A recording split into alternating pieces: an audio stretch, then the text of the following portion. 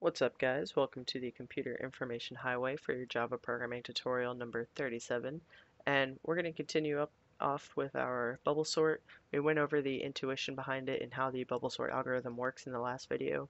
So if you're not sure how it works you can check that out. Uh, basically the gist of it is big numbers float to the end of the list uh, and that's what we demonstrated in the last video.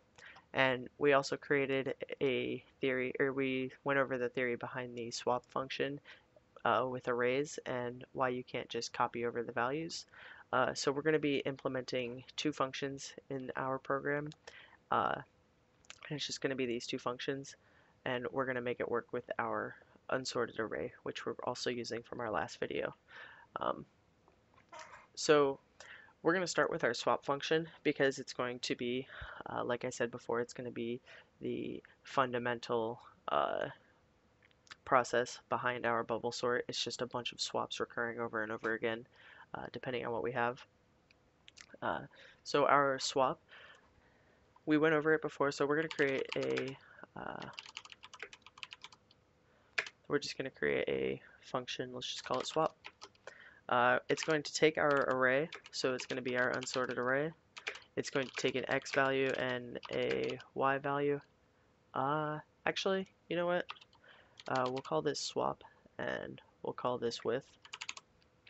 And the reason I'm doing that is uh, is because I don't want to confuse somebody with the XY convention of being a 2D uh, system. It's just supposed to be two arbitrary uh, values that contain the two positions that we're switching. So the first thing that we're going to do is we want to make sure that neither of these values exist outside of our array so we don't like mess with our bounds um, or we don't uh, try to manipulate something that's outside of our bounds. So that's the first thing we check. If uh, if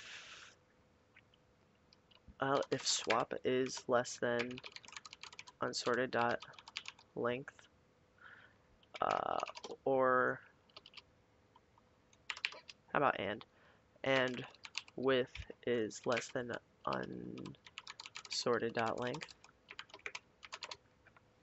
Basically what we're going to do is we're going to take our array, we're going to take the first value, store it into a temporary value. So let's just call this temp and save it as our first value because it's the number that we're swapping it with. We're going to replace the first value with the third value or in this situation the width value. So we're going to set uh, sorted of uh, swap equal to sorted of width. Uh, unsorted, sorry.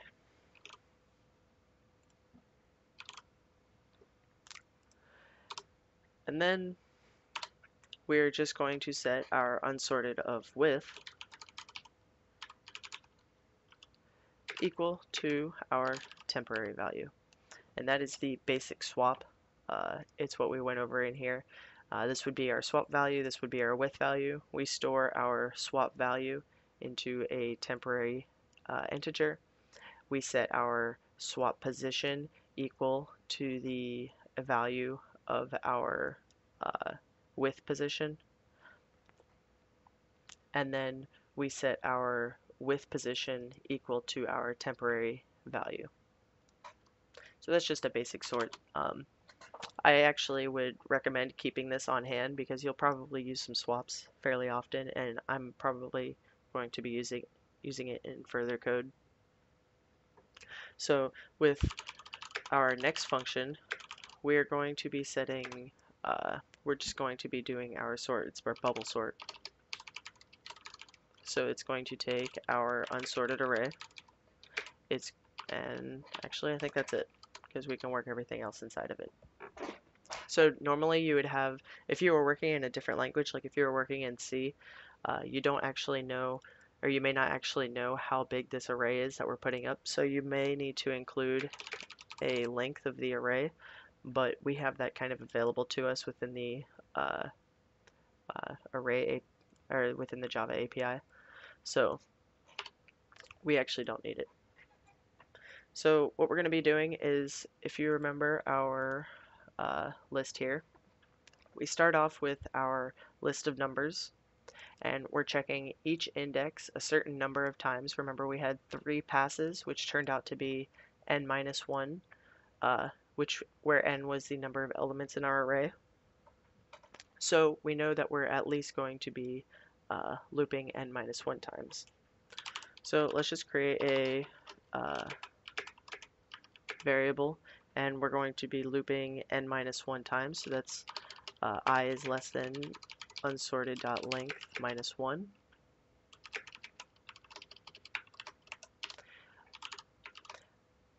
The second loop is going to be moving through each position also up to n minus 1 because if we were to move to the final digit it would run outside of our bounds. We went over that in the last video as well. So we're going to say for j equals 0, j is less than unsorted dot length minus 1 j plus plus oops int and finally what we're going to do is we're going to perform any swaps that happen uh, within these two uh, lists so any swaps that occur uh, in the list at any given time which is going to be if a number if our position at j because this is going to be uh, this is going to be the array that we're moving through, and this is just the number of times that we're moving through the array.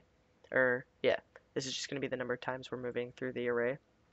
Um, but since this is going to affect the position of the array, this is what we're going to be checking our swap with, and it's always going to be the position uh, and the position plus 1 that we're checking with.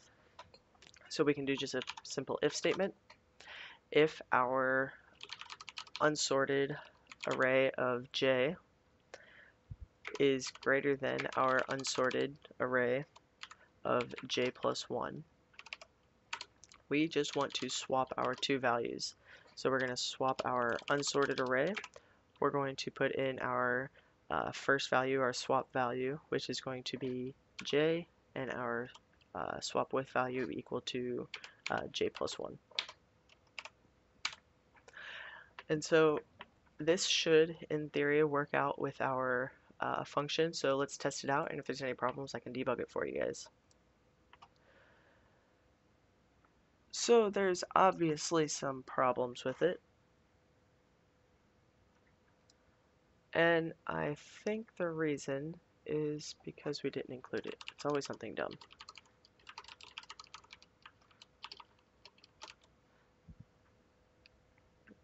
Um, was that wrong? Oh, yeah, I spelled it wrong. Yeah, okay, so bubble sort, minus 1, minus 1. Alright, so this should work out now. Uh, let's run that again. 1, 2, 5, 5, 9, 13, 15, 48, 65, 91. It all looks like it is in order. So you see that even with a uh, much longer list of uh, numbers, the bubble sort ended up working out um, and continued to apply the same intuition from the bubble sort as what we put into code. And you see that this is a pretty this is a pretty easy iterative solution um, since this goes from this just goes through how many passes we need to do and this just does the number of uh, elements in the array minus one uh, and if one is bigger than the other, we just swap. It's a pretty easy algorithm, um, which is why I wanted to show you, uh, you guys if you wanted to implement a really, really simple swaps, uh, uh like if you if you just wanted to implement a really simple sorting algorithm, uh, this would be the one to go for.